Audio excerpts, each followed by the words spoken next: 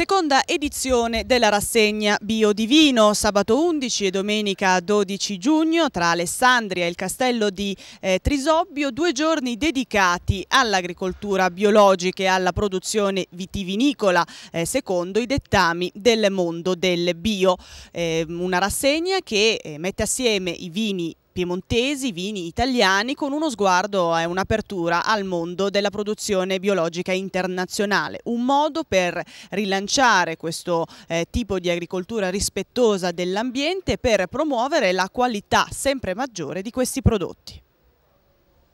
Ma eh, Biodivino seconda rassegna, quindi siamo al secondo appuntamento di una manifestazione che sta crescendo e quest'anno abbiamo avuto la partecipazione dei primi vini stranieri, quindi un appuntamento che proseguirà nei prossimi anni come emergeva anche dalle intenzioni che oggi abbiamo dichiarato un po' tutti visto il successo che sta incontrando destinata ad allargarsi ai vini di tutta Europa e chissà, magari non solo, perché dobbiamo dire che i vini biologici sono un vanto del nostro paese, ma anche altri paesi, gli Stati Uniti, il Cile, il Sudafrica stanno irrompendo in questo comparto eh, che sta in qualche modo conquistando l'attenzione di tanti, di tanti paesi, anche della Cina, no? temuto competitore per i nostri prodotti agricoli e molto interessato ai vini biologici. Noi vogliamo radicare questa manifestazione in provincia di Alessandria, nel Piemonte,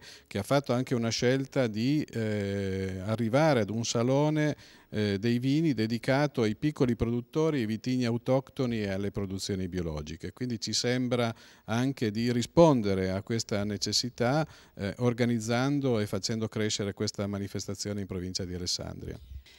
Collegato a questa seconda edizione di Biodivino c'è anche un'iniziativa che si chiama Cantina Biodivino.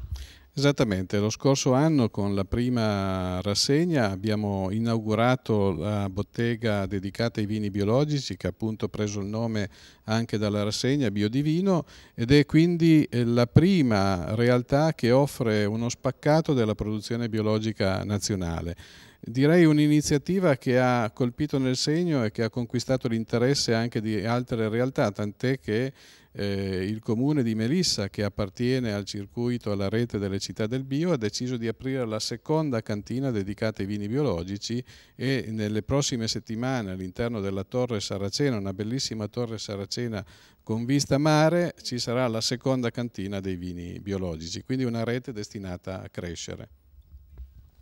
È una scelta precisa di valorizzazione di, di tutto il patrimonio enologico della, della, nostra provincia. Biodivino, che è la seconda esperienza, aveva anche tracciato la strada della, della qualità de, del prodotto. Eh, il prodotto deve essere un prodotto prima di tutto che nasce da un progetto di qualità nel vigneto, eh, ambiente e biodiversità sono le premesse. Eh, questo ci fa dire che il prodotto enologico per una provincia eh, come la nostra, se razionalizzato e qualificato, può essere una grande risorsa anche economica per le aziende, per i produttori, per il nostro eh, territorio. Dalla, dal biologico dunque estendiamo un concetto di qualità a tutta l'azienda agricola della provincia di Alessandria che attraverso un processo di riqualificazione può immettere il proprio prodotto fuori dal proprio contesto locale. Che cosa è cambiato in 20 e più anni di tempo per un agricoltore biologico, di pratico? Beh, io posso dire occupandomi principalmente del vino che prima un po' diciamo da pionieri sicuramente guardavamo più la scelta un po' diciamo ideologica se vuoi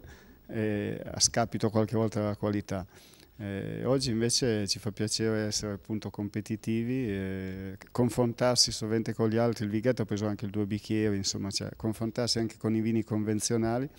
e dimostrare che, che un vino oltre, io dico che deve essere buono come gli altri, se biologico è meglio. Insomma.